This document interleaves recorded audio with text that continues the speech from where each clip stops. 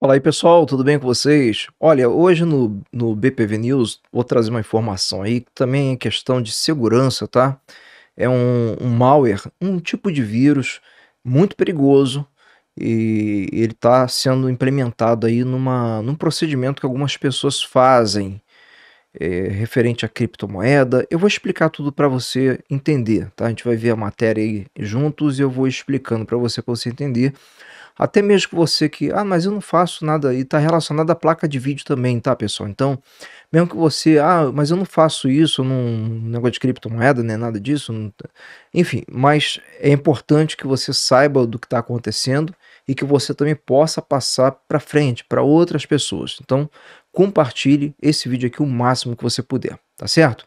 Olha, ontem eu fiz um, um, um, vídeo aí, o Papo Profissional, um assunto muito bacana, muito importante, que é o erro que muita gente comete. Então, vale a pena você assistir, o link vai estar na descrição e eu vou deixar também no card final e na tela final também vai estar aí o vídeo para você assistir. Depois desse aqui, já emenda, já faz aquela maratona BPV. Bom, mas vamos lá então, pessoal.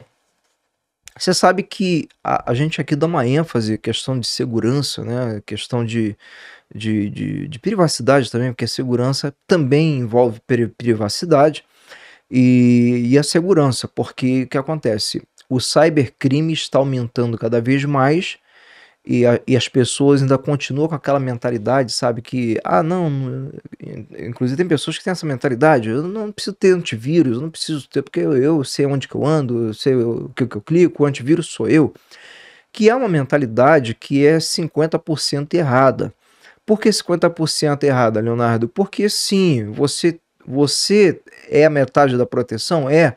Porque muitas coisas você só infecta o teu computador se você entrar e permitir. Então, quando você tem o conhecimento, óbvio que você não vai sair clicando em qualquer coisa, vai baixar qualquer coisa, vai executar qualquer coisa no teu computador. Mas por que 50%? Porque existem vírus, existem coisas, tá? Que não depende de você, não depende do ser humano. Não depende. Muitas vezes, por você clicar numa imagem comum na internet, o teu computador ele pode ser infectado. Né? Muitas pessoas nem sabem disso. Tá? E, e sem contar outras coisas, como vulnerabilidade no sistema, que pode ser invadido remotamente, às vezes sem conhecimento e sem permissão da pessoa. Então, por isso que a gente sempre fala aqui que a, a, o antivírus é a primeira barreira de proteção.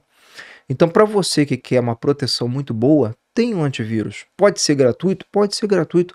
Pode ser o do próprio Windows? Pode ser o do próprio Windows. Muita gente não sabe disso, mas o Windows Defender, que agora é Microsoft Defender, é um dos melhores antivírus aí que tem.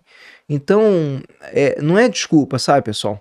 Que às vezes a gente fala de antivírus aqui, o pessoal fala, pensa logo, ah, Leonardo vai fazer propaganda da Kaspersky. Não, eu indico a Kaspersky porque é parceiro aqui do canal e é um antivírus que eu utilizo há anos, mesmo antes de ser parceiro entendeu? E como coisas boas acontecem, né, através da parceria, por exemplo, pelo meu link você já tem 50% de desconto. Você ainda pode usar meu cupom lá na hora da compra, BPV, tudo maiúsculo, que você ganha mais de 10%. Então eu indico para poder facilitar, já que a pessoa, vamos supor, você quer comprar, vai comprar, por que não comprar mais barato utilizando a, esse benefício da parceria que nós temos com a empresa? Então é por isso que eu indico. Mas se você quiser ficar usando o, o Windows Defender, você pode, mas tenha um antivírus funcionando aí no teu computador, tá bom? Você não vai botar tranqueira, né, pessoal? Tranqueira de Avast, essas coisas assim. Que aí, aí, aí já são outros 500. Então também tem que pesar direitinho. Bote um bom antivírus. É assim, tem muitos que são gratuitos aí, são muito bons. Mas já falei pra caramba aqui e vamos entrar, vamos pra matéria, né? Porque senão o tempo passa, o tempo voa. Deixa eu trocar aqui de tela. Prontinho, pessoal. Aqui, ó. Programa que afirma liberar mineração em placas NVIDIA. É malware, ou seja, é um vírus. É um vírus que vai tem como objetivo infectar o teu computador. E por que, que é um assunto tão importante? Porque a mineração hoje de criptomoeda é uma coisa muito popular, pessoal. Então, é, a gente tem que ter muita atenção e entender o que, que é isso aqui, né? como que funciona. Eu vou dar aqui, vou aproximar para gente, para você ver aí direitinho, tá? Acho que assim já tá bom. Ó, um programa disponível no GitHub que alega ter a capacidade de restaurar os recursos de mineração da Ethereum. Ethereum é uma criptomoeda muito popular. Nas placas mais recentes da Nvidia. É, na verdade, um malware. Entendeu? Então, esse programa disponível no GitHub Tá? que promete fazer a restauração dos recursos de mineração para a pessoa poder utilizar a placa dela mesmo, a placa que ela comprou para poder fazer mineração. Então muitas pessoas procuram isso. Então esse programa, na verdade, ele é um malware. Ele está prometendo uma coisa, mas é outra. Conforme revelou aí o Tom Redder na quarta-feira, dia 23. O utilitário em questão supostamente desabilitava o recurso Light Hash Rate, o LHR. Lançada no ano passado, a função limita o poder. Aí você vai entender por que, que né, agora. O, porque tudo é, tudo é questão, pessoal, da procura e da necessidade, né?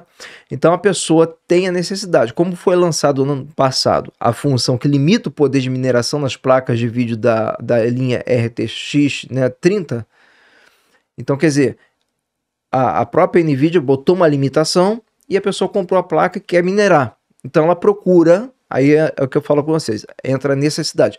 Ela procura o quê?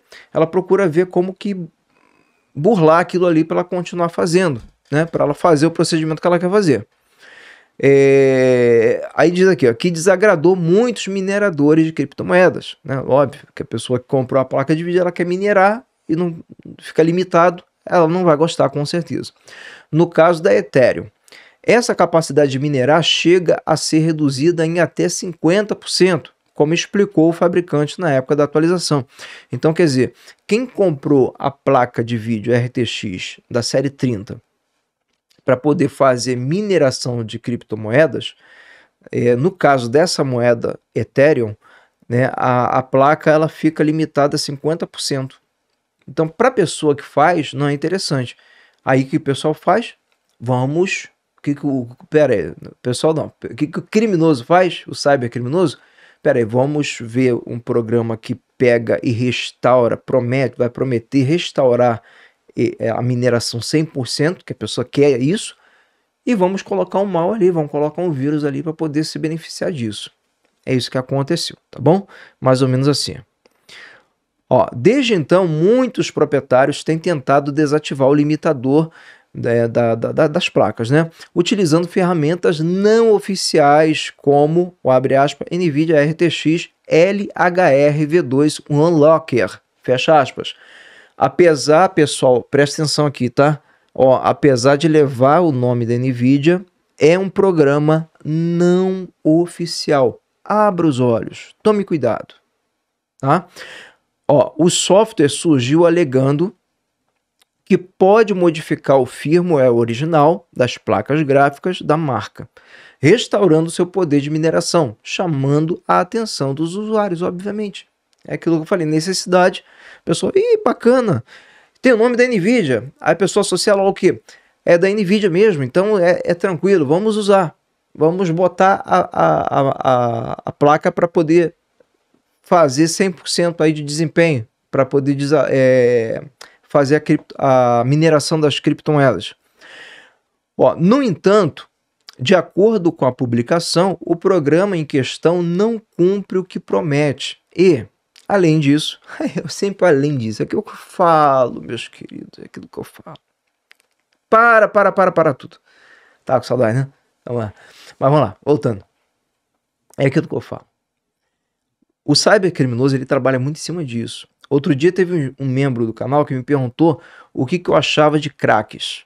E eu falei para ele, ó, crack, na minha opinião, crack, ativador, essas coisas todas, são programas que muitas vezes prometem fazer uma coisa que é ativar um programa, ativar é, um jogo, enfim, de forma ilegal, né? Por aí já não é muito interessante. Só que ele promete fazer isso. Aí a pessoa pega, não, vou, eu quero usar o programa gratuito. Não quero pagar por isso. Eu vou usar esse crack aqui, esse ativador. Beleza? Só que você não sabe o que mais aquele programa, aquele crack, aquele ativador, vai fazer por trás dos panos, por debaixo dos panos, escondido, sem que você perceba. Entendeu? É por isso que eu, você pode dar sorte de você usar um, um ativador, um crack desse aí, ele fazer só o que ele está prometendo fazer? Pode. Mas, meu querido, você pode se dar muito mal. Então é mais ou menos aqui. Ele promete uma coisa, e além de não fazer o que promete, ainda pode, aqui ó, ainda pode trazer riscos para o dispositivo. Em vez de desativar a limitação, ele infecta o sistema no qual foi instalado a partir do PowerShell, né, .exe, do Windows, levando a máquina a apresentar comportamentos estranhos. Tome muito cuidado com isso aqui. Como eu falei, importante, passe isso aqui para frente. Ó, não instale o utilitário, programa.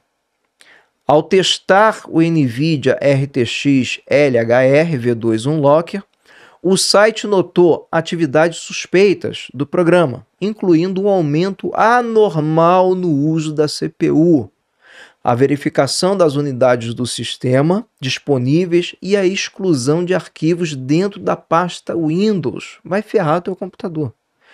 Técnicas de ofuscação de códigos e loops invasivos para dificultar a análise dinâmica também foram detectados. Olha que perigo, tá?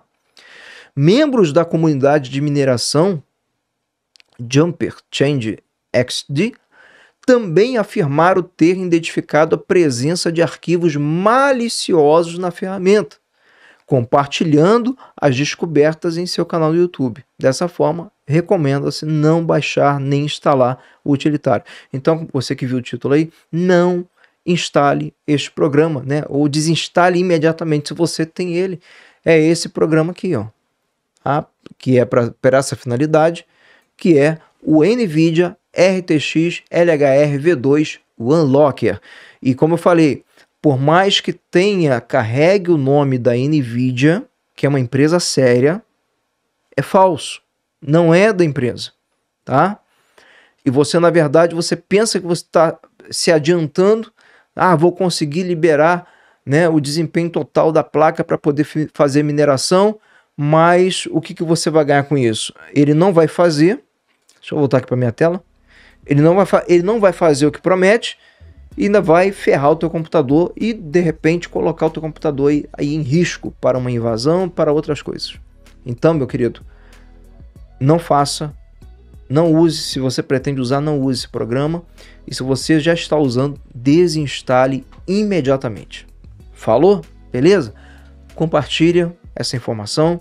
Estou deixando esse vídeo aí na tela muito bom. Se você não assistiu, assista. Grandes informações aí também.